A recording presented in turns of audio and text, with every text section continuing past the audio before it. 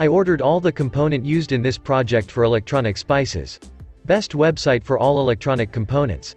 I've ordered triple five timer IC, LDR sensor, capacitor and some resistors. Link of website and components is given in description.